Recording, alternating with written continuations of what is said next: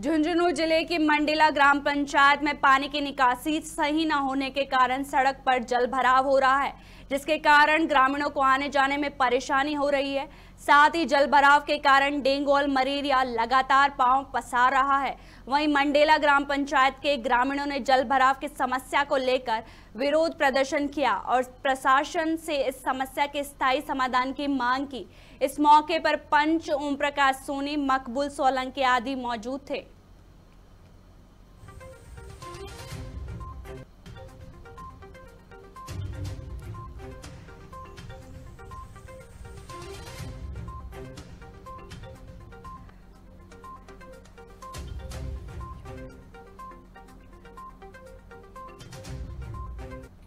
पंच की भी ज़िम्मेदारी है, वार्ड नंबर आठ से।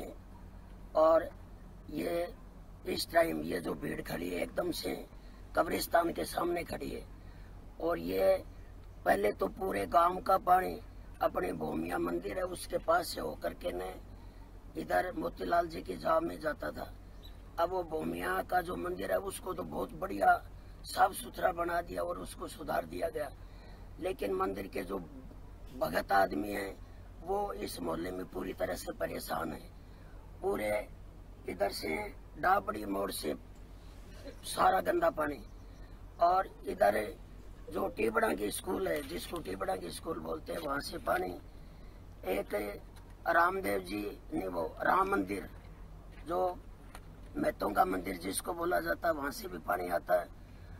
और पूरा का पूरा मतलब इतना भयंकर पानी आता है तो ये सारा का सारा कब्रिस्तान के सामने से ये बलीम की चक्की है, उसके पास से होकर के नगर पूरे साइड में पानी निकलता है।